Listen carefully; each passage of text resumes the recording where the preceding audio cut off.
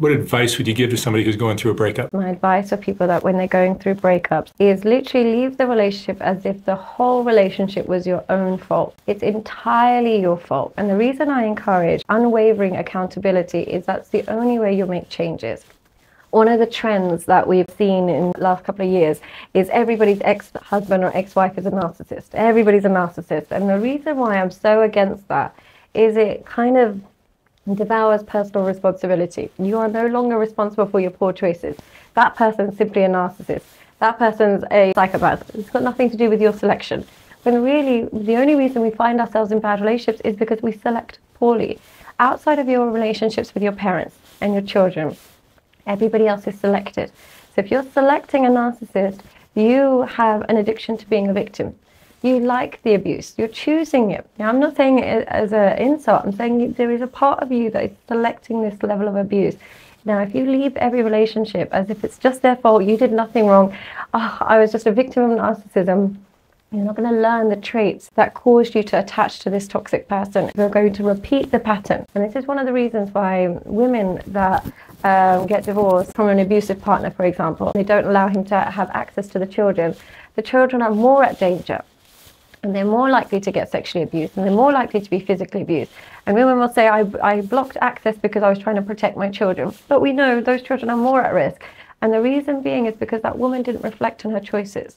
She didn't reflect on her decision making. She just simply chose an abusive partner. Oh my God, he's so bad. You're never seeing the kids again. Never doing this. I'm protecting the kids. The children are now exposed to a different form of abuse. So if we don't reflect, we repeat.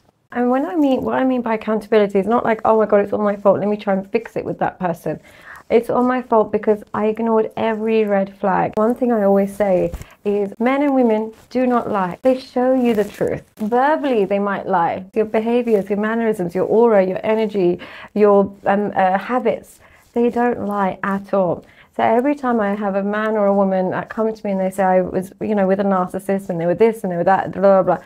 And I said, what happened on the first date? What happened in the first week? And they'll say, no, they were great, they were fantastic. And I said, no, no, think carefully. What actually happened? Well, the first time I met him, he was in a relationship, he was married at the time. There you go. They showed you they were they were able to live two lives. Or the man will say, the first time I met her, she was in a strip club, she was a stripper, but, but like, there you go. Did she lie to you or did she show you who she was?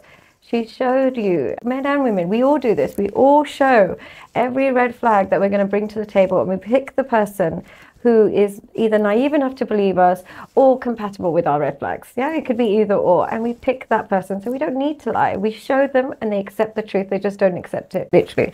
Sometimes I think, and it's not just social media, it's also magazines and television that exposed us to so many people, so yeah. many, so many attractive people. Yeah only we, attractive people. Only attractive yeah. people, really. And, and we just got used to looking at that, and that's what we longed for. Mm-hmm. And we got to a point where we're not going to accept anything other than that. Yeah. And that's not meant for a lot of us. If you have to pay for an attractive partner in installments of your self respect because they keep degrading you, they keep cheating on you, it's not worth it. I understand sometimes some people are privileged because they might just have the options. They, and a lot of women, I'm not talking about all women, but a lot of women, majority of the time, when they walk into a room and they like the look of a man, chances are he'll like you back. So we don't really know what the rejection feels like, and we don't know what it's like to long after somebody that is not interested in you. But one thing I can guarantee you, it's not going to feel good. No matter how beautiful she is, the treatment you receive is what you should focus on. As much as you, she might make you look good in public, if she treats you badly in private, it's never worth it.